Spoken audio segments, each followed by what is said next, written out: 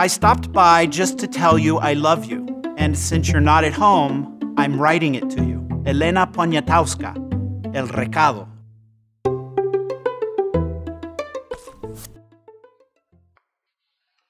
Hi there. Let's continue our Cervantine journey through history's greatest novel.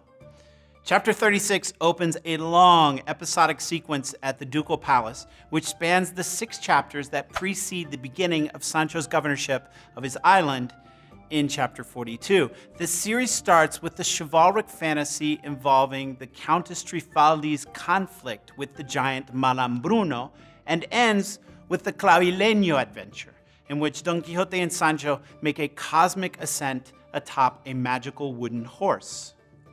Before any of this, however, the narrator informs us that the figures of Dulcinea and Merlin were played, respectively, by a page boy and the chief steward of the Duke's household, also known as the mayordomo. Note the sexual confusion. In her final appearance, the hyper beautiful Dulcinea was actually a young man. Next, we have a comical discussion between the squire and the duchess about Sancho's penitence, in which we learn that so far Sancho has only given himself five lashes with his hand. Two other important details here. First, the Duchess insists that for his lashes to be effective, Sancho must use a scourge, or cat of nine tails, her words indicate a harsh form of pedagogy and place a high value on Dulcinea's liberty, hinting at Cervantes' vision of the purpose of his own novel. Learning requires suffering, and the liberty of such a great woman as Dulcinea cannot be obtained so cheaply. Second, the Duchess's final comment sounds harmless, but it directly contradicts the Counter Reformation's response to Luther's doctrine of sola fide, or only faith, which challenged the Catholic view that all acts of charity lead to grace. Be advised, Sancho, that works of charity which are performed weakly or with indifference have no merit and are worthless. This is a very big deal. The phrase was censored in the Valencia edition of 1616 and expurgated from all editions between 1632 and 1839. Note also how Sancho's response alludes to the mysterious reappearance of his ass's harness in part one. Give me, my lady, the appropriate scourge or harness, and I will lash myself with that. Did you know Transvestism in Don Quixote might mean many things, but it was also a typical plot device that Cervantes inherited from the Byzantine novel. See, for example, Aethiopica by Heliodorus. Next, Sancho hands the Duchess a letter that he has had someone else write to his wife Teresa. The letter is fascinating for many reasons.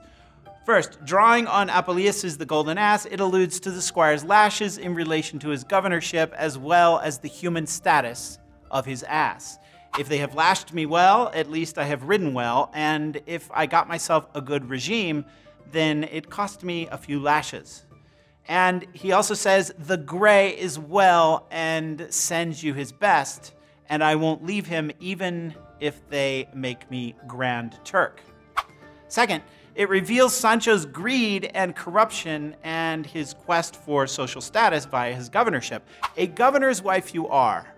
And from here, in a few days, I will depart from my governorship, and I go there with a very great desire to make money, for they have told me that all the new governors have this same desire. Third, it refers again to the problem of the missing 100 escudos from part one. God has not seen fit to grant me another case with another 100 escudos like before, but don't let that trouble you.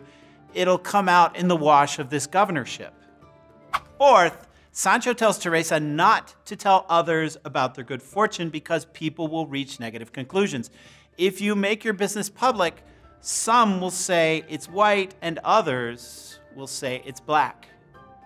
Fifth, Sancho reveals his disillusioned vision of his master as well as himself. My master, Don Quixote, according to what I have heard said in these parts, is a sane madman and a laughable idiot, and I am not far behind him. Sixth, astonishingly, Sancho dates his letter 20 July 1614. In other words, just prior to the publication of Part 2 of Don Quixote, this represents a radical break in the timeline of the novel, which has caused debate among scholars. Is this another slip, or is Cervantes trying to call our attention to the historical context of Part 2? The latter. Similarly, Sancho's governorship will refer to the expulsion of the Moriscos ordered by Philip III between 1609 and 1614. Quixotic mission. What does Sancho announce to Teresa in his letter? A. Woman of a squire you are. B. Whore of a viceroy you are. C. Wife of a governor you are. Correct answer C. Wife of a governor you are. After she reads Sancho's letter to Teresa, the Duchess voices two objections. First, apparently forgetting the Duke's pressure on Sancho in the previous chapter and undercutting her husband's authority, she claims that Sancho's governorship is not contingent on his lashes. When my lord the Duke promised it to him, he knew nothing at all about any lashes. Her second objection cuts to the issue of greed and corruption. Greed rips the sack, and a greedy governor will dispense injustice. After lunch in the garden with the Duke and Don Quixote, we have another shocking intrusion announced by an odd mix of military and funereal music. At this moment were heard the melancholic tones of a flute and those of a deep and dissonant drum. Everyone seemed disturbed by the confused, martial, and sad harmony. Note how Sancho again hides in the Duchess's skirts. Fear carried him away to his customary refuge which was at the side, if not in the skirts, of the Duchess. This is comical slapstick, but there's also something here that connects relations between the sexes to political leadership. That's all for now. Join me next time as we continue interpreting the most important literary masterpiece in the Spanish language. If you liked this video and want to continue learning more about the knight-errant Don Quixote de la Mancha, you can subscribe to our YouTube channel here. Also, you can enroll in our free online course on Don Quixote by clicking here.